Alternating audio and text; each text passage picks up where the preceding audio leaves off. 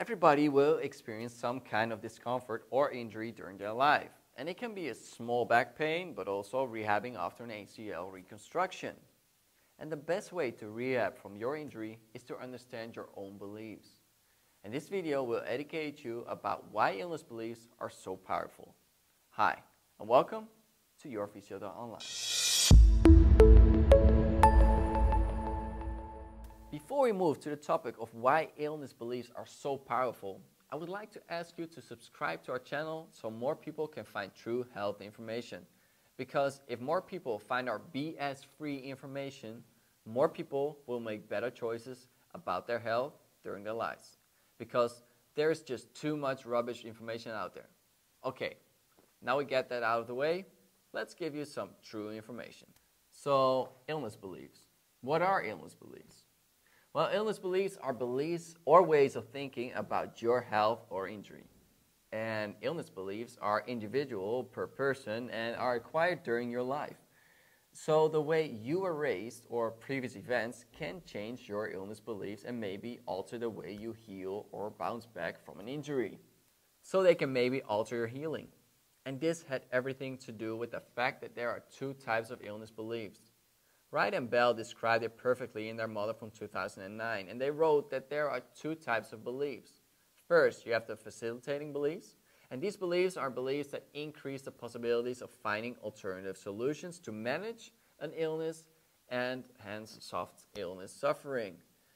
Constraining beliefs are beliefs about the illness that can restrict options, maintain the problems, and enhance illness suffering. And everybody has some kind of beliefs. I even had constraining beliefs for a short period when I hurt my back a couple months ago. And the first belief that came in my mind was a bad and a constraining one. And I even know a lot about low back pain, and I mean a lot. And because of my background as a physio and manual therapist, I could change my beliefs really fast, creating an environment that could help my recovery. So, understanding your own beliefs when in pain may be a way to improve your health.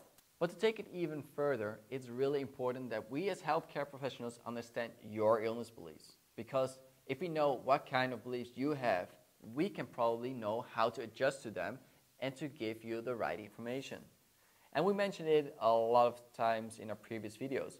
We mostly give advice and information to our patients because having the right information already puts you in front in your own rehab or recovery.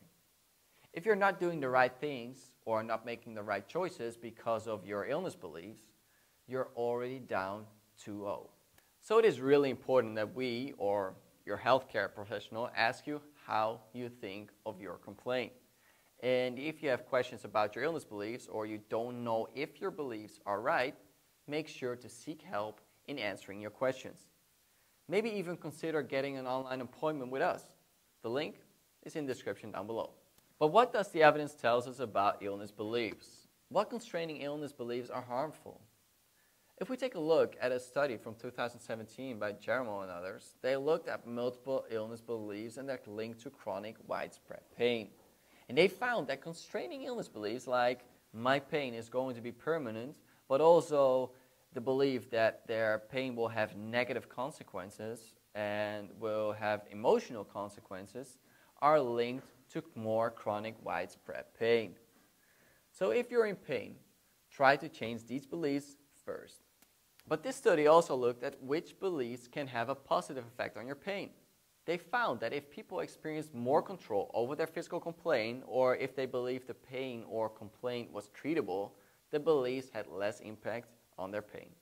And of course, this is only one study, and there are plenty more that show the same conclusion.